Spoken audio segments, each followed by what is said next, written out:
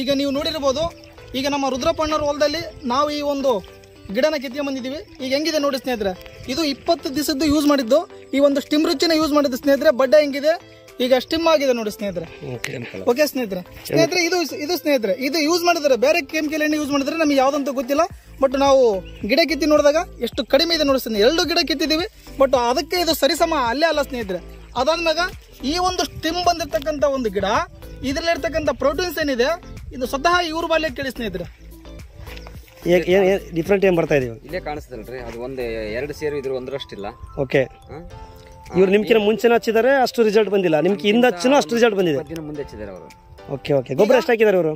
ಅವರು ಎಕರೆಗೂ ನಾಲ್ಕು ಸಲ ಬಿದ್ದವಾಗಲಿ ಓ ಸೂಪರ್. ಈಗ ಸ್ನೇಹಿತರೆ ಈಗ ಸರ ಈಗ ಮೊದಲೆಲ್ಲ ಇದ್ರೆ ನೀವು ಈ ಒಂದು ಸ್ಟಿಮ್ ರಿಚ್ ಯೂಸ್ ಮಾಡಂತಂದ್ರೆ ಅವರು ಒಳ್ಳೆ ಅಂತ ಹೇಳಿದ್ರು. ಈಗೇನಂದ್ರೆ ಸ್ನೇಹಿತರೆ ಈಗ?